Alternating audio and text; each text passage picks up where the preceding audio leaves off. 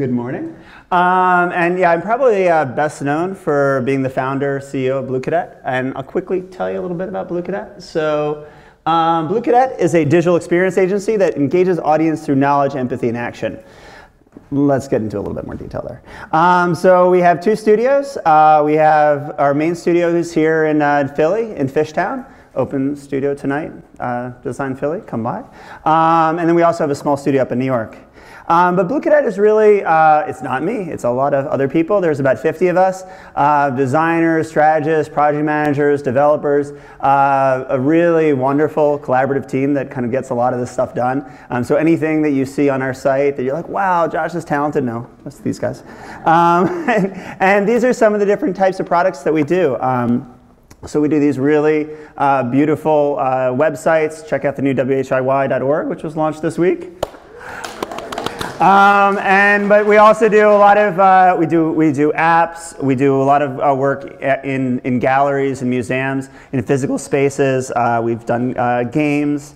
Uh, and we do it entirely in the cultural sector. So this is, you know, museums, uh, cultural organizations, large nonprofits, higher ed, and occasionally some brand stuff, but not really, not very, very seldom.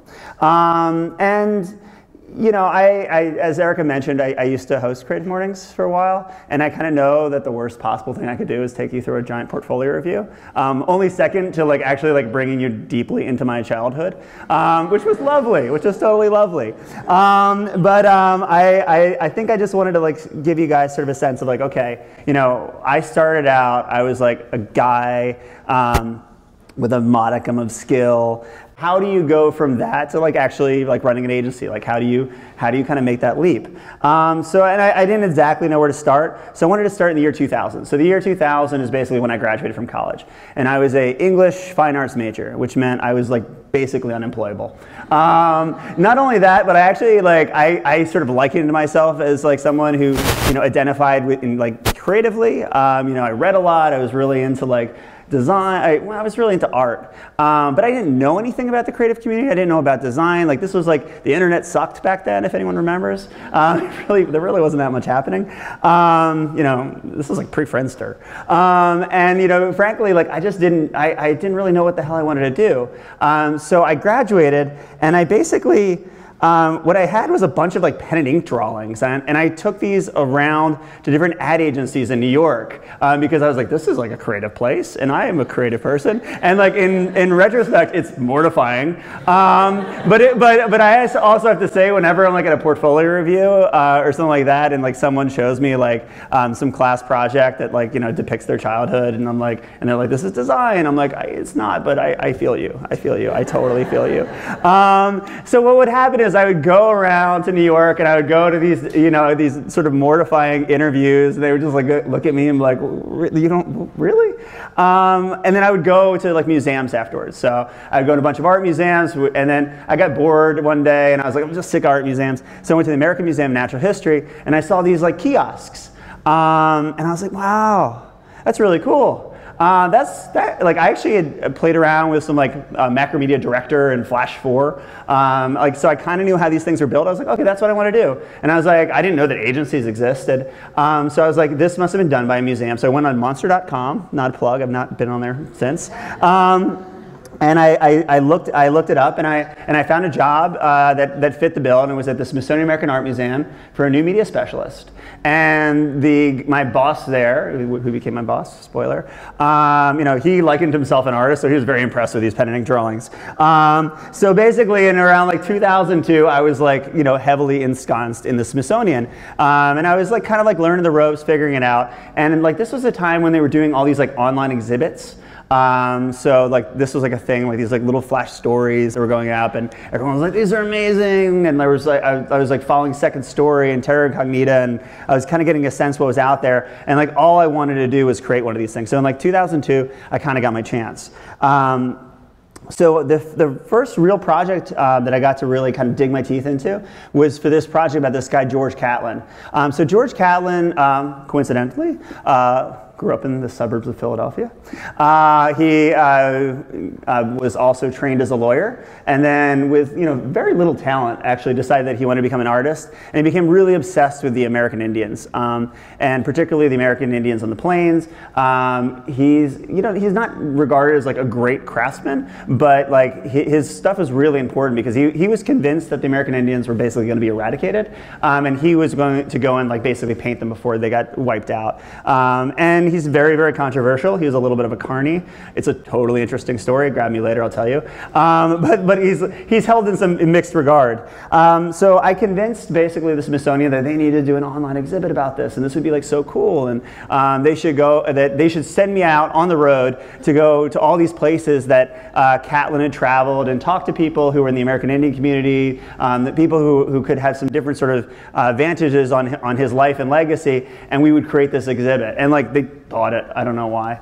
Um, you know, because like I mean, honestly, I wasn't pay, being paid that much, and like I was like willing to like hang out in Oklahoma for like long stretches of time. So so basically, it was me and this 62 uh, year old woman who became like my best friend that year, um, and we just like traveled around to like North you know North Dakota, Oklahoma, New Mexico, um, and we were collecting all these interviews and putting together the story. Um, and this is what it became. Um, so this is Catlin's Campfire Stories. So this is terrible you know, like from a like from a design and UI perspective. Um, for, forgive me, um, I was learning, um, but it, but it was like you know I also just like had to learn it all as I was going. You know, I had to basically teach myself Flash in real time to pull this thing off. Uh, there was a, it was a radial spinner. The thing about the Smithsonian is this is actually still live, which is actually crazy. Um, like you can totally go home and enjoy. Um, you know, like dig in. Um, but was but was amazing is so like the first time it was like pretty good, and it ended up winning a, a Gold Muse Award, which was like the big award in the museum community. So I was like so stoked. Um, I was like, I came back to the office and I was like, I'm ready. Okay, I did it, guys. What's next? And they're like, all right, Josh, congratulations. You did a wonderful job. Um, go back to your desk and do tutorials. We'll have another project for you in like six years, or six months, a year. I'm like, okay, great, okay, great. Um, so I had a beautiful Knoll cubicle, you know, there's nice even fluorescent lighting. And um, I started getting these medical symptoms. Um, and I was like, I'm diabetic. Um, like, like, no, I'm not. Um, but basically, what, like, I, I, was like, I was, I started like just being like lightheaded all the time. a little lightheaded now, honestly. Um, but like, you know, basically what was happening was like, I, I you know, I went, started going to these doctors. I got an echocardiogram. I got tested for all these allergies. I did a tilt table test, which is basically they put you on a table, they tilt you, and they just wait and see how long it takes to, for you to pass out. Um, and then finally, like, you know, after after going through these rounds, I ended up like basically um, sitting across from this Israeli therapist named Adi Shmuley. It's a wonderful name, wonderful man. Um, and he's like, dude, guy, you're like this young guy, you know, you had this wonderful adventure, and now you're sitting in a cube like a bureaucrat. Get the hell out. And I was like, oh, okay, okay, I will. Um, and, and so basically, I would like to say that like I was like, yes, this is my trumpet moment. I'm excited. I'm gonna like, you know, chart. But I was like so sad. Like I was so sad to leave the Smithsonian. They had like all these amazing stories. Like their collection's unbelievable. Like you, I could spend my life just like going around and telling the stories of all the things that were there. And I was just, it was, it crushed me to leave. But I left, you know. And then for the next few years, um, I, uh, I kind of freelanced. Okay, so this is also the this. So people are like, you know, how do you build a studio? And this is the other question everyone asks me. What the hell does Blue Cadet Blue Cadet mean? Let's see.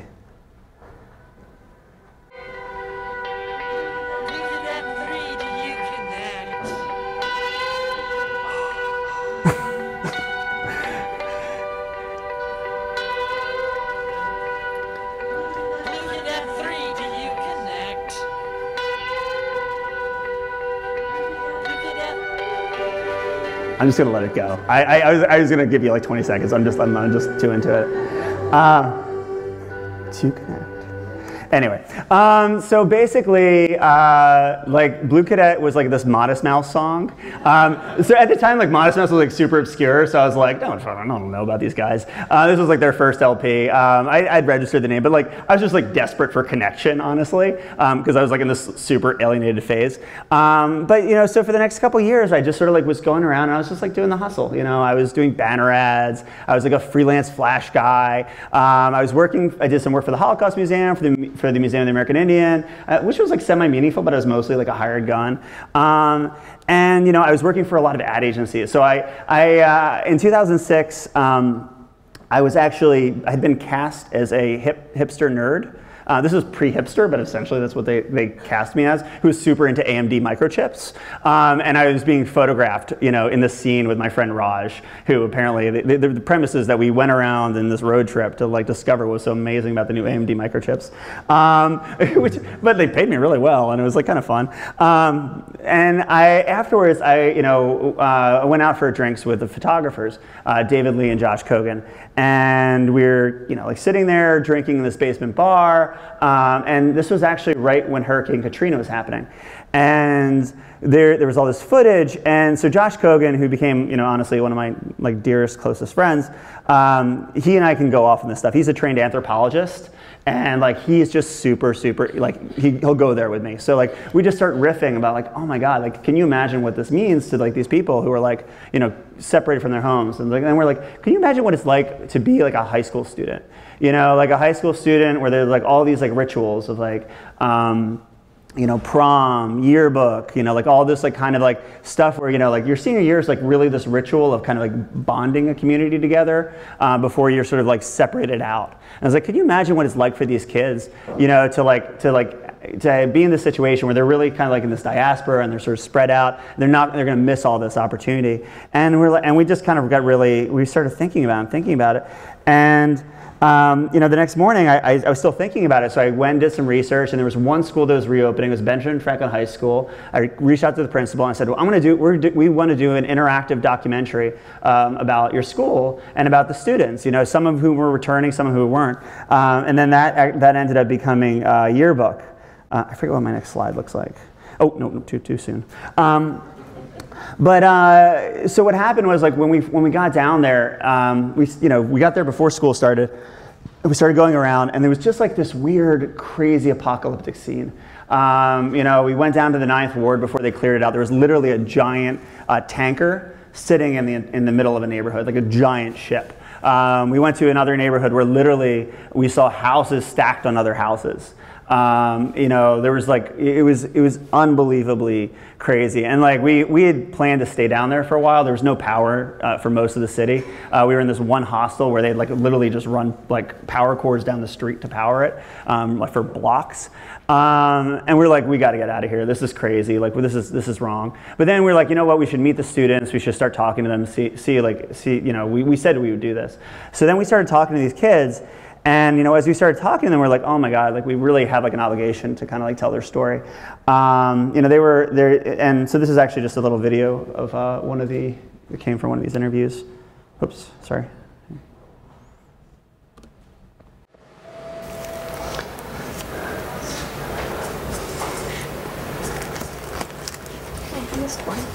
Once upon a time, there were three girls, and their names were Kate, Kaisha, and Charlotte. One day they went to a haunted house. In the house lived Count Dracula, the, witch, the Wicked Witch, Mr. Bones, and upstairs was Dr. Frankenstein's laboratory. Nobody knew that there were there was screaming ghosts in the house. The Wicked Witch was on her way to Dr. Frankenstein's laboratory. On the way, she met Mr. Bones. Then she met Count Dracula on her way up the stairs. Then she got to Dr. Frankenstein's laboratory. When she opened the door, there were some bats. When she met Dr. Frankenstein, they talked for a long time. Then she went home and went to sleep. it's probably like a bunch of stories in here. Oh, look. Oh, Christmas. A recipe for a perfect Christmas. Fireplace, home with Christmas tree. Love and caring. Two large candles, five cups, memories. Um, so this is ultimately what uh, the yearbook project looked like. And, you know, it was, there were a lot of things that came out of it. So, like, one thing you might be looking at was like, wow, Josh, you got to be a much better designer between uh, Catlin, Catlin and Yearbook. And, and the reason for that, um, which was, and what was actually a really important observation, was I was about maybe three quarters of the way through the project. And meanwhile, like, know that we were like fairly unpaid for any of this. We got like a very small grant, um, ultimately. Um, but I was just like, I'm not good enough as a designer to pull this off. I kept, you know, trying and trying and pushing, and, and I was just like, I wasn't. It was good, and it was good enough in some ways, but it wasn't good. It, it wasn't to the standard that I wanted. So I pulled a designer that I knew from doing some work with the Holocaust Museum, and you know, she she helped me push it through. And and through this, I learned a couple things. Um, one, uh, I didn't want to be limited by my own talents. Um, I just really wanted the work to be great. I wanted to do right by the content, by the work. And two, I also enjoyed um, kind of helping other people's talents manifest um, and, and, guiding a process more than I like doing everything myself. Um, so at this point, I was 30 years old and I moved back to Philly. Um, I was like, okay, if I'm going to like do this thing, if I'm going to have a staff, if I'm, going to make, uh, you know, if I'm to actually build a studio, um, I, I, grew up outside of Philly. I was like, Philly has amazing talent. Philly has amazing talent. You guys are amazing. Um, like I knew all the. I, I mean, honestly, sometimes I, I, was just like, look, Blue Cadet is basically predicated on keeping the talent in Philadelphia from moving to Brooklyn. Like that's that, that was like that was basically my whole initial business plan. I was like, I know they're all going to Dumbo. I'm to get in their way. I'm to give them an option, um, and we're going to build something awesome here. Um, and then sort of, um, you know this is a bit of a leap, you know, like, so it's been 10 years now. And, you know, I would say that, you know, if you look at Blue Cadet, uh, you know, it's, it really is about the team. It's about, you know, the work that they produce. But I think a lot of the, the work um, still has a lot of the DNA and then sort of the intention that came from those early things in Catlin Yearbook. Um, but I wanted to take you a little bit up to date uh, to uh, 2016, which is a, to, to, a more contemporary project that we did uh, to kind of illustrate this a little bit. So um, in 2016, we were asked to do a show for the Art Institute of Chicago um, around Van Gogh's bedrooms. And what's interesting is, you know, they, these three bedrooms were being brought together for the first time. And so the, the thing about Van Gogh is like Van Gogh is not Catlin. Like Van Gogh is actually like a beautiful, beautiful painter. Um, like, like they're really, they're really evocative. But like in some ways, the beauty is almost a little distracting. Um, and like also like the way that we understand his story is a little cliche. Like, oh, he's like this crazy guy, cut his ear off. um, like, but like, do you relate? But like, I don't know if like people relate that. He was a really crazy guy. like, you know, he's not dissimilar from some of the people that you'd see, you know, on a street corner in Philadelphia. Like, he was deeply troubled. And what was interesting about these paintings, um, aside from their beauty, is that, you know, basically he'd been like a kind of an itinerant. He'd been kind of a homeless guy. You know, he'd been, he'd been crashing, um, on, you know, at Theo's house, his brother, um, you know, but he'd been traveling around and essentially, um, you know, he was lost. And, he, you know, he finally found himself this beautiful town of Arles and he finally had a bedroom you know, he had a place and he was like so excited about it. And he was writing these letters to his brother and he was so excited that he like finally found like sort of like safe passage in the storm. You know, he was feeling great. Um, he had this idea that, you know, so here's, here's his room. This room over here leads to where Gauguin uh, was actually going to stay. So Gauguin was a friend of his, and they were going to be roommates, and they were going to create art together. And it fell apart really quickly um, because, uh, among other things, Van Gogh is a terrible roommate. Because, um, like, I mean, if you've ever if you've ever uh, had a roommate that has like deep mental issues, um, it was it was very much like that. Um, and and you know, and then shortly after this, he would be institutionalized, and he would, and he would then commit suicide and die. Um, but we wanted we had this amazing source material, and we wanted to tell the story. You know, we wanted we we thought that these things just being hung beautifully lit with like tombstone labels with like you know a, a, doctorate having written hundreds of words about it wouldn't be enough um, and the, the, museum obviously thought so too, or they wouldn't have paid us. Um, so this is kind of what was created.